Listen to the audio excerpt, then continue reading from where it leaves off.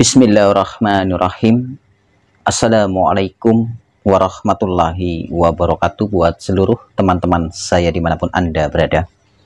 Semoga kita semua di kesempatan pada hari ini diberikan kesehatan, diberikan umur panjang, dimurahkan rizkinya dari segala arah penjuru, dan selalu diberikan perlindungan oleh Allah Subhanahu wa Ta'ala. Amin, amin, ya Robbal 'Alamin. Insya Allah, pemirsa, di dalam kesempatan pada hari ini, saya akan menjelaskan beberapa tanda-tanda bahwa suatu amalan yang Anda wiridkan itu sampai ke tujuan. Jadi, jika panjenengan saat ini mengamalkan salah satu doa ya yang tujuannya adalah untuk putar giling, untuk pengasihan, bahkan mungkin untuk pelet yang kita tujukan ke si target itu ada tanda-tanda ya. Ketika tanda-tanda itu dirasakan sama si target dan dirasakan sama si pengamal itu berarti ilmu pelet ataupun pengasihan ataupun putar giling yang Anda kirimkan ke si target itu sudah berhasil masuk ke sasaran. Tetapi jika Anda tidak merasakan apa-apa, itu berarti ilmu ataupun doa yang kita wiridkan itu tidak sampai ke titik sasaran. Jadi buat pemirsa di mana pun Anda berada, khususnya untuk saudara-saudara kita yang mungkin saat ini sedang melakukan tata laku ya baik digunakan untuk putar giling, pengasihan, pelet ataupun penunduk yang ditujukan ke si target itu sampai jadi tanda-tandanya tuh ada beberapa di sini. Yang pertama, ya, ketika panjenengan mewiridkan doa yang sudah dipatok dengan sekian malam, seumpamanya tiga malam. Ya, dikhususkan ke si target agar supaya si target tersebut itu tunduk ataupun apa walas asih lagi ke diri kita itu ciri-cirinya sampai itu bagaimana ketika kita sedang mewirid untuk satu malam ya malam pertama kita mewiridkan itu biasanya orang yang kita jadikan sasaran ataupun si target ini akan gelisah. Ya, biasanya kalau untuk mengerjakan hal-hal seperti ini itu biasanya dimulai pada jam 12 malam karena kita nunggu si targetnya ini tertidur. Nah, ketika kita jamah dari rumah ataupun kita wiridin dari rumah yang kita khususkan untuk si target itu nanti tanda-tandanya untuk malam pertama si target merasakan gelisah ataupun tidurnya ini tidak tenang. Entah apa itu yang ada di pikirannya ataupun sedang mikirin apa itu tidak bisa dijelaskan sama si target. Ya.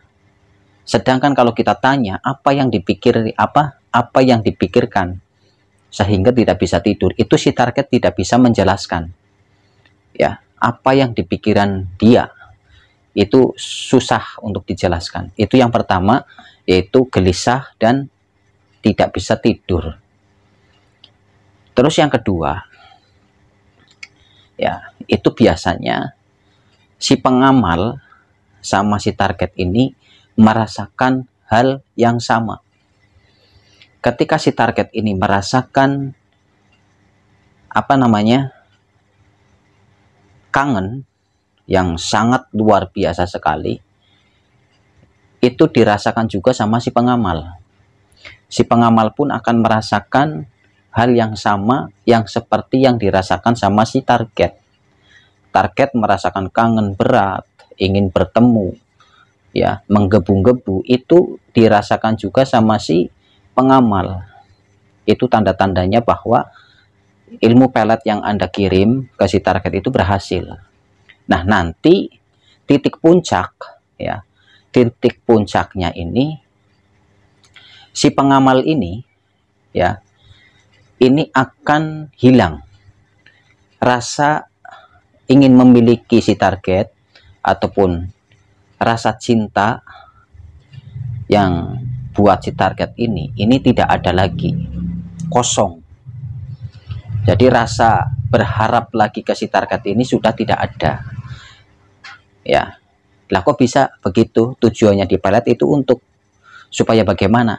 Karena sejatinya ilmu pelet ya ketika pelet itu berhasil ditujukan ke titik sasaran ya maka kita yang tadinya cinta yang tadinya ingin memiliki ya itu nanti hilang sirna.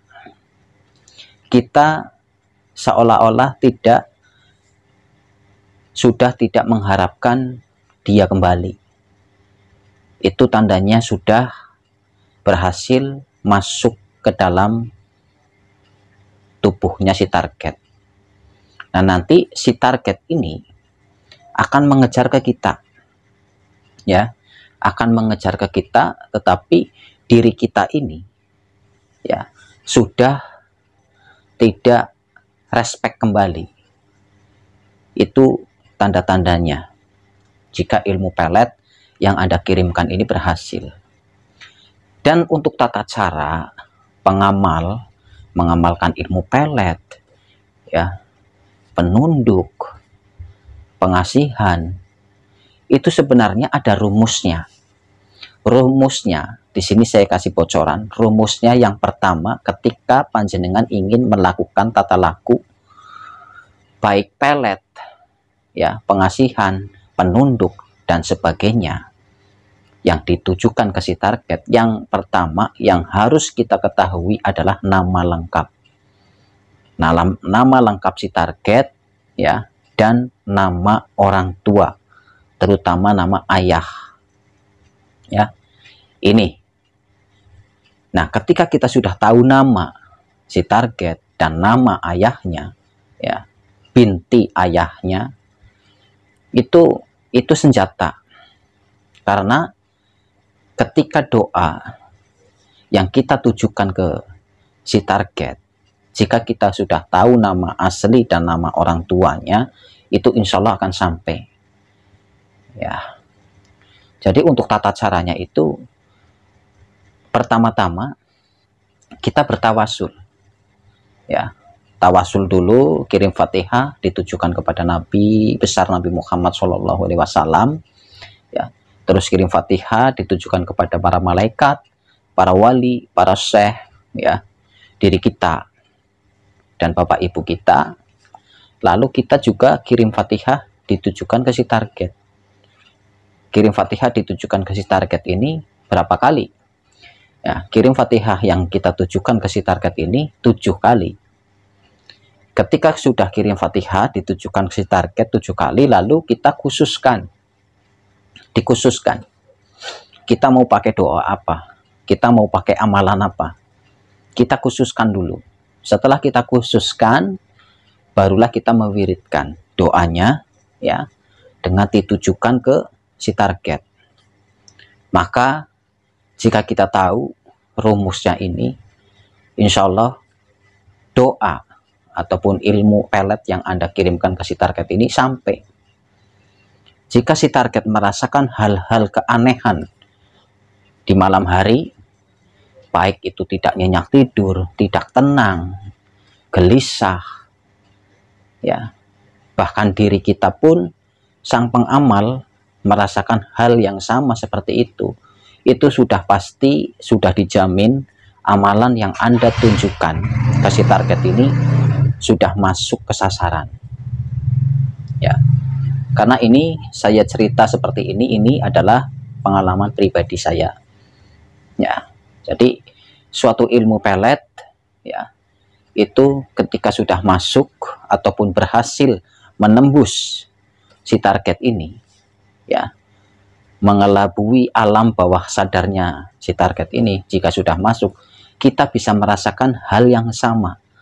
Ya si target merasakan seperti ini seperti ini kita merasakan yang sama.